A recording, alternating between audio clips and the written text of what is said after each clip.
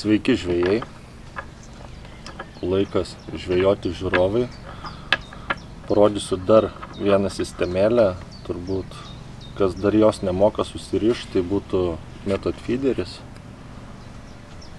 Kam aš ją naudoju ir kaip naudoju ir kaip ją pasidaryti, to jau pamatysit šiame video. Šiaip sistemėlė realiai buvo sukurta tam, kad komerciniuose tvenkiniuose gaudyt karpius. Tai bus naudojamas ne paprastas valas, o litkoras, bet aš puikiai gaudau karšius lynus su šia sistemėlė ir manau, kad litkoras tam nemaišo.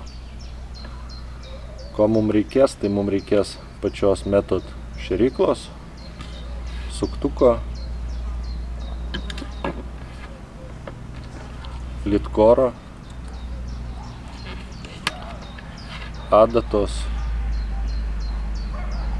smulkios litkorui pasidaryti, nu, aišku, žirklučių ir naudosiu klyjų. Tai nuo ko viskas prasideda, tai būtų imam litkoro atkarpą 50-70 cm maždaug ją atsikerpam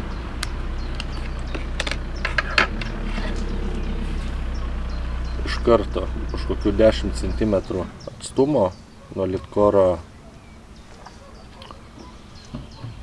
galo persukam, kad gautųsi štai tokia kilpelė. Tada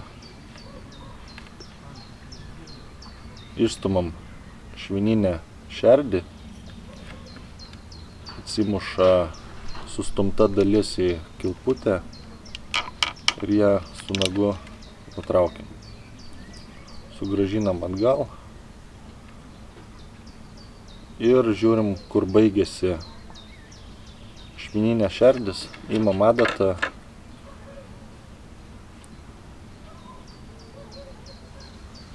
ir ją veriam per centrą.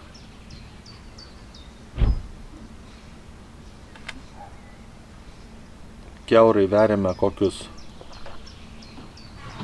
2 cm. Galima daugiau, bet patartina bent jau 2 cm prasiverti. Ir iškišam adatą. Gaunasi štai taip.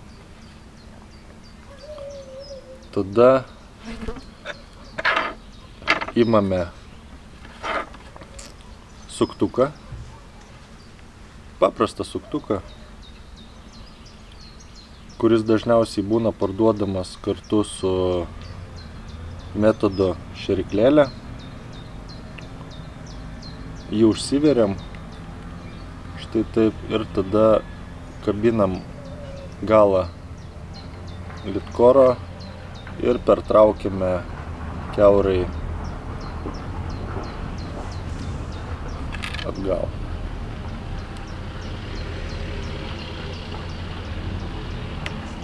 Atsisukam persuktą vietą ir įtempiam štai taip. Puikiai laikosi, bet aš vis tiek naudoju super klyjus, nagų klyjus, nesvarbu. Kelis lašelius klyjų užlašinam ant ištrauktos vietos, tada žymiai viskas gaunasi tvirčiau.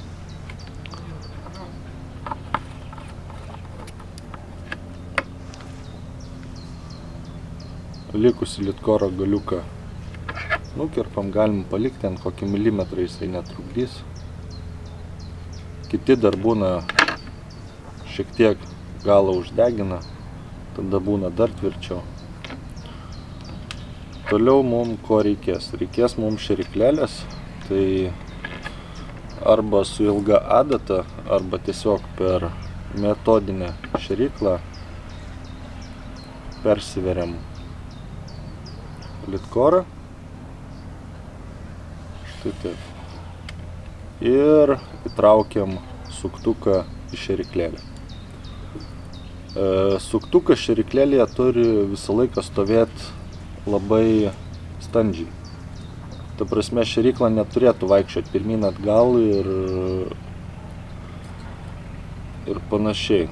Nes metodo principas yra toks, kad žuvis turi pasikirsti į šeriklos svorį, gaudant e, bailiuku. Prie metod šeriklėlės dar dažnai būna tokia apsaugėlė, kuri užsimauna viršui. Ja užsiveriam.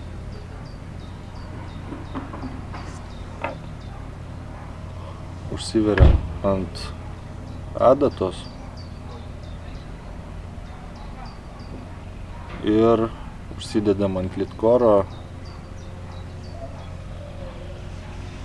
užtraukiam iki šeryklos ir užmaunam. Čia tokia apsauga, kad tipo nesipainėtų. Kažkas tokio. Taip, mūsų sistema kaip ir baigta, liko kitam litkoro gale pasidaryti kilputę pagrindinio valo kabinimui prie šios sistemėlės. Šiaip litkoras dar daro tokį, atlieka tokį įdomų vaidmenį. Tai būtų, ar būtų kliuviniai kažkokie, tai ar, pavyzdžiui, karpio aštrus pelekas litkoras padeda apsaugo, tiksliau, e, nuo balo nupjovimo. Imam vėl. Adatą, veriam ties tą vietą, kur baigėsi litkoro šerdis, kurią išėmėm.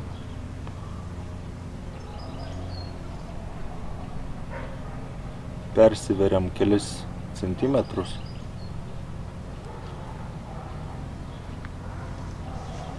Ir ištraukiam. Dabar nededam jokio suktuko, nieko. Tiesiog užkabinam patį galą, kurį ištraukiam. Ir persitraukiam, kad gautųsi gale kilputė. Gavosi kilpa. Atsukam tą dalį, kurią buvom susukę. Ir įtempiam galima kažką tai kišti, įtempti. Šiek tiek perklyjuosiu, kad tikrai neišsitrauktų.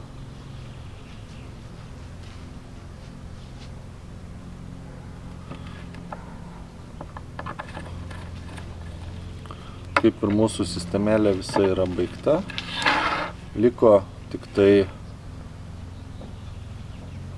uždėti pavadėlį. Jokių apsaugų prie šito geriau nenaudoti, nes imam pavadėlį su kilpute, tiesiog jį perveriam per žiedelį ir kilpą su kilpą suneriam. Pas mane jau iškart paruošta su bailiuku kad jum parodyt.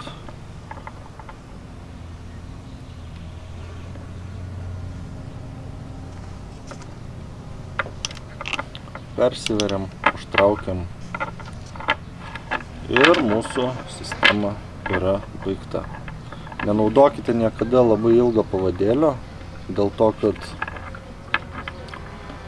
e, šitos sistemos principas yra toksai, kadangi jūs įspaudžiat bailiuką kartu su masalu į šeriklą, gaunasi, kad žuvis surpdama masalą įtraukia boilį ir gauna iš karto smūgį į lūpą. Taip žuvis pasikerta. Jeigu pas jūs sistemelė būtų tokia, kur jinai viską vaikšto, šitas pavadėlis vaikščiotų lengvai, tai būtų daug tuščių kibimų dėl to, kad nepasikirštų žuvis, reikalingas svoris. Tai apie šią sistemėlę tiek. Ką, nepamirštam laikinti, prenumeruoti ir susitiksim kituose video.